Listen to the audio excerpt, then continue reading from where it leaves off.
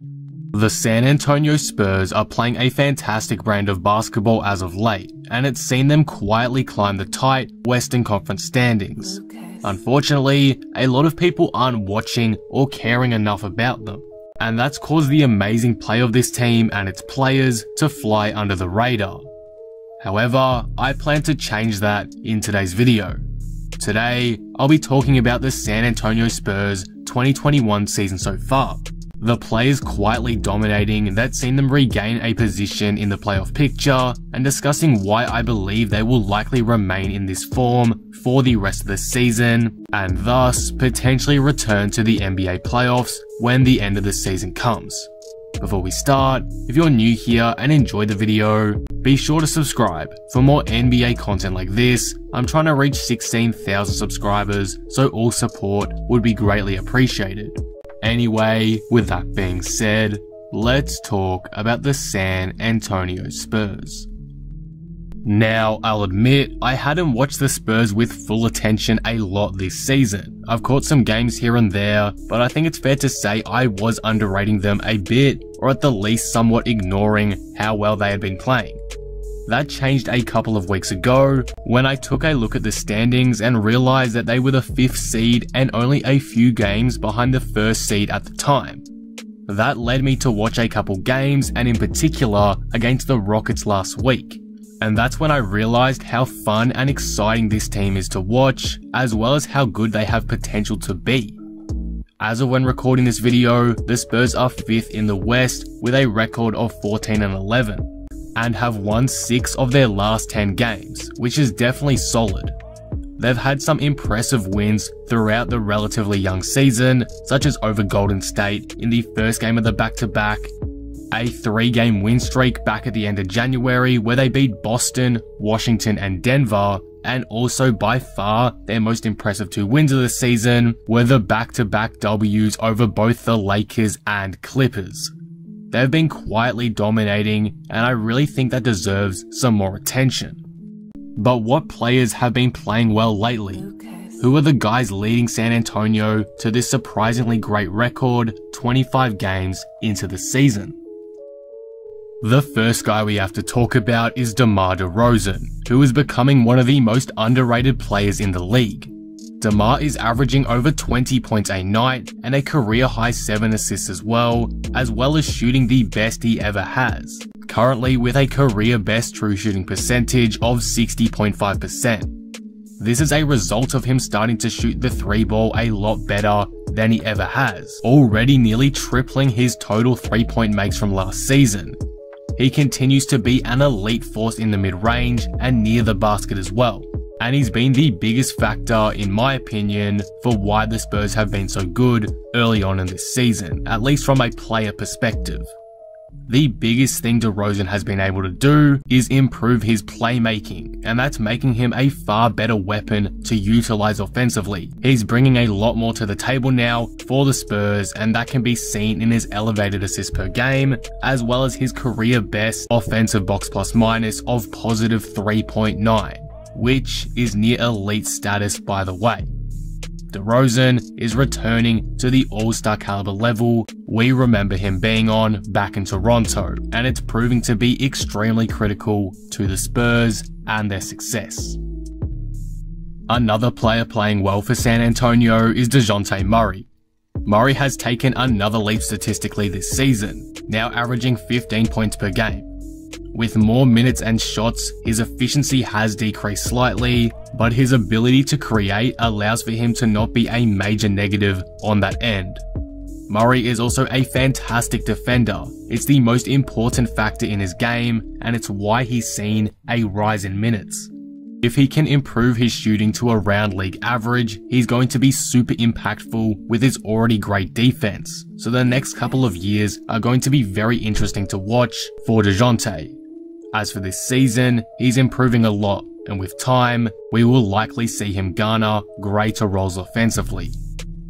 Another hugely underrated player on this team is the young sophomore Keldon Johnson. The heart he brings on both ends is fantastic, and he's been earning more and more minutes as the season has gone on, now playing 30 minutes a game as a reoccurring starter.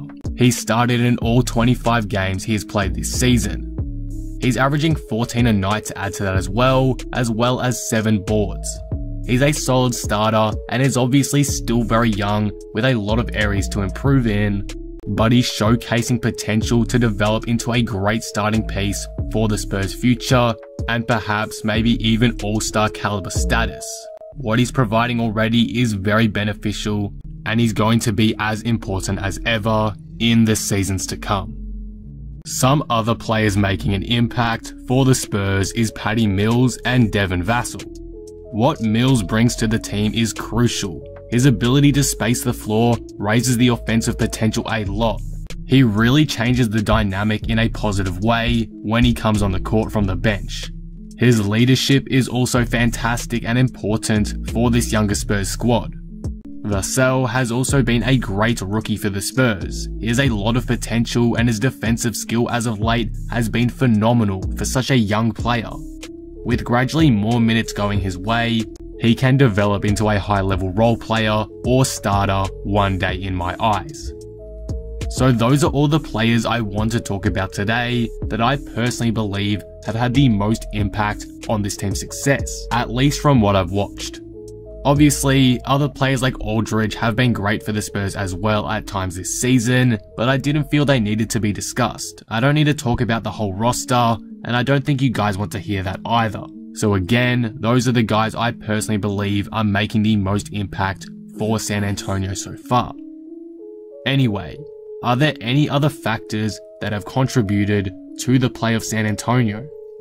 The biggest thing that I've noticed with the Spurs is their increase in pace. We saw flashes of a change in style in the bubble as they played much faster than normal, and they were quietly very good in Disneyland. So seeing that success, they've now taken it on fully in 2021. As a result, it's getting them more and more consistent wins. The Spurs have jumped from having the 22nd fastest pace in 2019 to 14th in 2020, and now in 2021, they have a top 10 pace in the league. So it's evident that this change in game style has been hugely beneficial for the Spurs and its players. And we can see in the standings how this new era of San Antonio basketball is reflecting. It's just great to see. The Spurs have been one of the most fun offenses to watch this season, and of course, their increased tempo has played a large factor in that. So, can the San Antonio Spurs keep this up and make the playoffs? Honestly, I think they can, at least to some degree. They definitely aren't a top contender, but with all the inconsistency in the NBA amongst teams this season, due to the weird nature of scheduling and all those other external factors, they should be able to remain inside the playoff picture, in my opinion. At best, I think they can gun a 5th seed, but I expect them to finish around 7th to 9th if they continue to play at the level they are currently at. DeRozan is an all-star, the team has a bunch of young studs that add to the depth and versatility of their side. They're overall a team that looks like a playoff side, and for that reason, I'm quite confident they can hold their own and be a playoff team in 2021. But overall, these are my thoughts on the San Antonio Spurs. They've been probably the most underrated team in the NBA as of late, and have quietly climbed their way into a good position in the standings. They've proven they can be a legit playoff team with some impressive victories, including some tough wins on the road. With them up in the pace, they've experienced this more consistent success, and I expect it to continue on a similar level, especially if guys like DeMar DeRozan continue to dominate. The Spurs have been great in 2021 and really deserve a lot more recognition for how well they've been playing. Their offense has been great, they're super fun to watch, and their playoff miss last season seems to be like a one-off right now. Keep an eye on the San Antonio Spurs for the rest of this season. They might just surprise everyone and do better than originally thought. And that will conclude the video. What do you guys think of this? How good are the San Antonio Spurs to you? Can they make the playoffs in your opinion or will they slip out? Let me know all your thoughts down in the comments below. If you enjoyed the video, be sure to drop it a like and subscribe. But with that being said, I am out. Peace.